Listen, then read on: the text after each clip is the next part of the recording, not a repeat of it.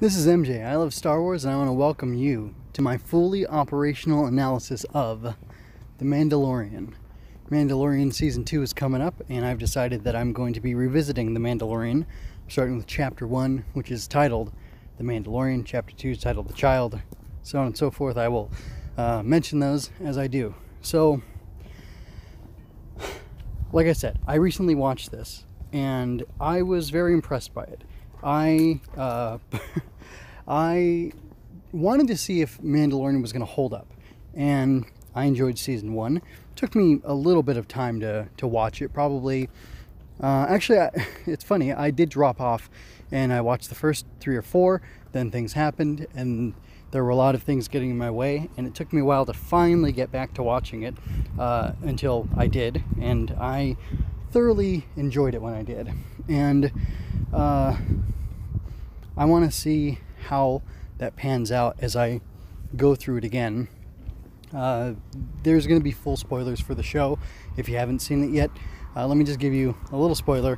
It's pretty great as far as I remember. If I end up thinking differently, uh, that'll be interesting. But it's pretty great. I think it's probably the best thing that Disney has done with Star Wars since the purchase in, uh, I don't know, whenever that was. 2012? Is that how long it's been. I don't know. Anyway, I think it's the best thing that they've done, and I'm even a big fan of the Last Jedi. Uh, and you can you know fight me about that if you want to. But anyway, um, yeah, I think the Mandalorian is better. It's better than everything.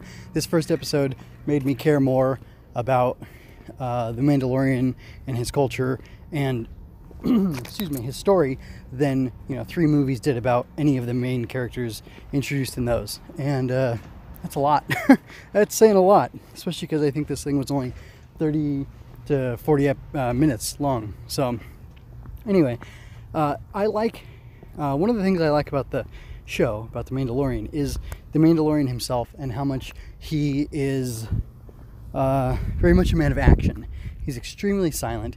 He has I wrote down his lines uh, in prep for this, and uh, I think he has maybe 10 to 12 lines and there was probably six memorable ones, and some of them were just whoa, wait, hold on, that kind of thing. You know, don't blow yourself up um, to IG11. And uh, anyway, it's interesting because what he chooses to say in the context that he's put in tell a lot of the story about him. And I think it's interesting that he's mostly a silent protagonist. Anybody who's uh, familiar with video games, you know, Link, Mario, characters like that, uh, they are silent protagonists. Of course, you've got your, you know, whatever, more advanced, more adult, um, or more mature, but, but not in that way. Uh, like Morrowind, Elder Scrolls, that kind of thing. You have those silent protagonists too. Um, but it's a little different. But it's odd to me that, uh, or it was interesting to me to see how they were going to have this guy who doesn't show his face, who hardly speaks, uh, how he was going to emote and how he was going to get in different situations, and really the action that he shows. Um, the actions that he takes really show who his character is. But um, like when he's in the fight trying to rescue or really find, uh, capture his bounty, uh, he does talk a lot more. He talks to uh, IG-11, and on his way there, he also talks to Quill, or you know, Quill. Yeah, that's who he is. So, it's funny they uh, they don't give names. Like you don't learn the Mandalorian's actual name until um, many episodes in, like maybe episode six. Uh, you don't learn Quill's name until maybe the same episode, uh, so it's kind of funny. Um, but it, while I was watching it, there were little things that happened, like uh, after Mando gets his uh, his pauldron, you see him in a ship, and the shot is repeated where we're in the cockpit behind him on the right side of him as he's you know flying. And we had seen that shot before but this time it was different. Uh, i don't know if he was wearing the cape earlier or not but the cape becomes more prominent in my view uh, after he gets the pauldron. And the pauldron kind of pops there as he's sitting in the seat. So it's not that he's transformed entirely. There's just this small change to him, and we saw it being paired with the forging of his pauldron and the flashbacks to him as an orphan, or you know, really as a child, to parents and being orphaned. So his parents must have been killed, um, you know, not too far from him before he was found, uh, and he calls himself a foundling. Um, so anyway, it was just really interesting. It was there's a lot of like silence and subtlety to it, and you get to just kind of be there and sit and dwell in this galaxy far, far away, and it's really entertaining to watch. Um, other characters get to like share expository dialogue like the guy he captures in the beginning he keeps asking questions he keeps throwing little tidbits out there and even though mando doesn't respond to them they're sufficient to give you uh, information about the universe and i think that was really clever that you have all these people talking and you have them being in this variety of situations which leads to the audience learning a lot about him and a lot about the state of the galaxy because uh, they don't even say like there's no titles on planets telling when uh, or where they are, and there's no like express exposition. There's no crawl. It's just you're dropped right into the middle of this thing, and it's another day in the Mandalorian's life, and you learn about things with him, which I think raises the level of interest. It raises it raises the um, not the suspense or mystery really, because that's a that's a silly thing to chase. And like I know all the secrets of Mandalorian or of the Mandalorian so far, season one, and I was still gripped and excited, and I found it all to be very interesting and enjoyable to watch. So there's I don't know, there's I almost think it's funny because you wouldn't think it is with such a silent protagonist, but this is a very character driven show, and we get exposed to who the Mandalorian is, what his life is like, what struggle he's involved with, um, like the restoration of his people that was kind of mentioned by the Imperial guy, um, played by Werner Herzog. I don't know why I know that. Um, uh, but like, we get that his people are like lost and they're floundering and they're trying to find their way back. And the Beskar that he has um, that he has acquired. It's going to be valuable to other foundlings.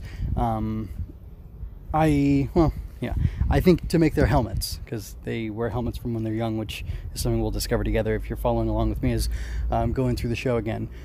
Um, and uh, anyway, like the Imperial guy's like, yeah, you know, things the natural order should be restored, shouldn't it? And of course, for him, the natural order is probably the empire which grew out of the republic in his opinion maybe probably righteously.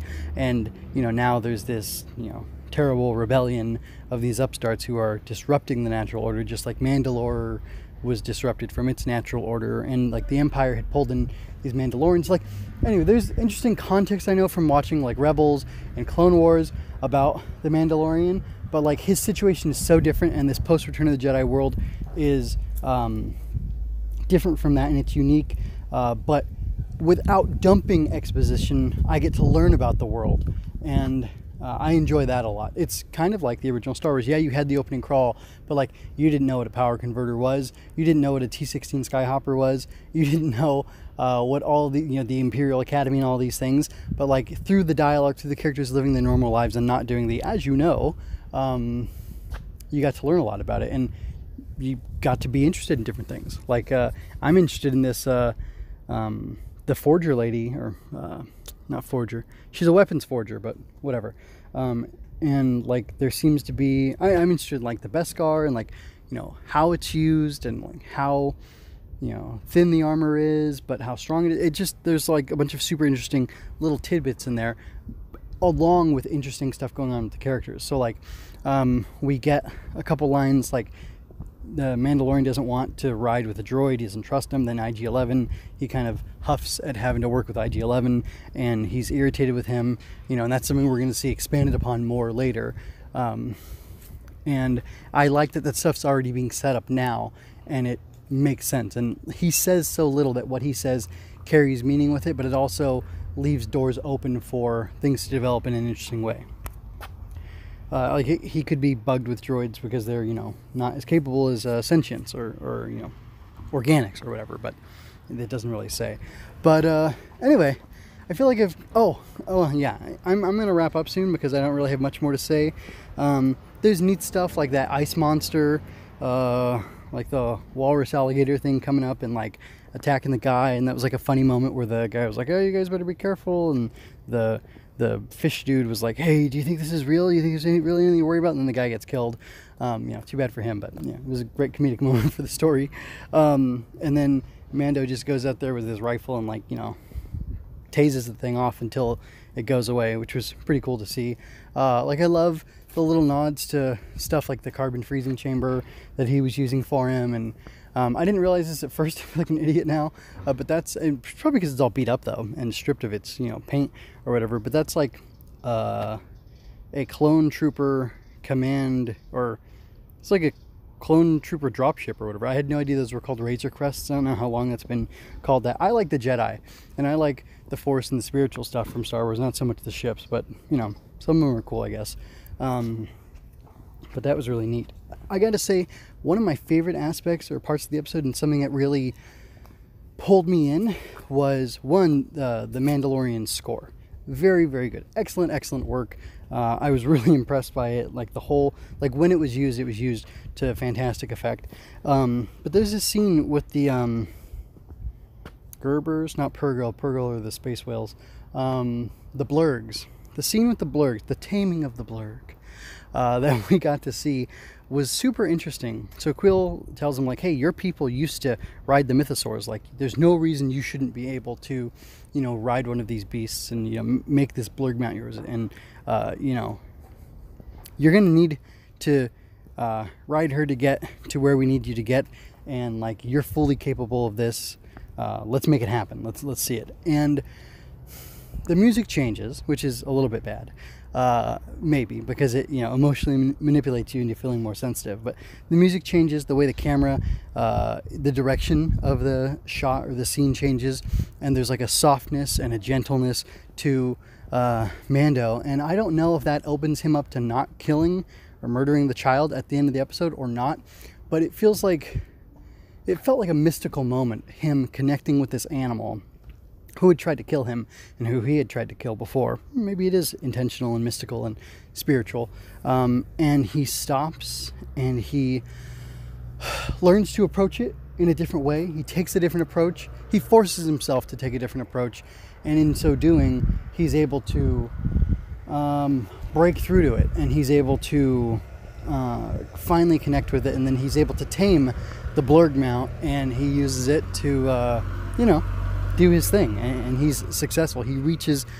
I think there's like I think it's like this mini arc where he can't do it, and then he does it, um, because he walks down a different path. He takes himself in a different direction, and it ultimately opens up him up to not murdering the foundling child or abandoned child that he, you know, is gonna protect from IG-11 at least. I don't want to be spoilery, even though it's dumb that it's. I'm trying not to be spoilery as much as I can as I go through. But it'll get increasingly more spoilery as I uh, talk about different episodes. So anyway, the action was great. The music was great. I really enjoyed it thoroughly, um, and uh, I can't wait to talk about more, watch more episodes, and talk about more of them to see what I think as it goes along. Um, I think Greef Karga was really cool.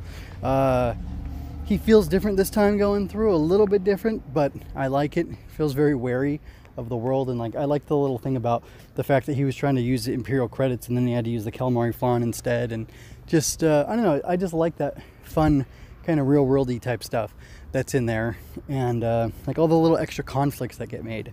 And then like I don't know, like the dumb comment about the the bathroom in the beginning when the guy's trying to figure out a way to escape before he gets captured. Um, I know, lots of fun. Um, I don't have much else to say. So I'm going to go ahead and stop now, and I'm going to ask you to look forward to more of these.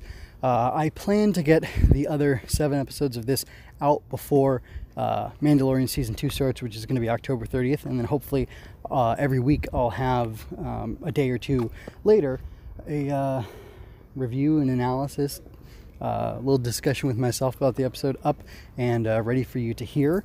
And yeah, that's about it. If you enjoyed this, like, comment, and share to help me grow. Don't forget to subscribe to keep current with each release. Chat with me on Twitter at MJ underscore scribe. Visit mjmunoz.com slash podcasts to find the multiple feeds in which I analyze Star Wars, tokusatsu, comics, and more. Visit mjmunoz.com slash support for links to my Redbubble and Ko-fi pages to help me out. Thank you so much for your time and attention. Until next time, be well, and remember, in balance lies power to see through dark and walk in light.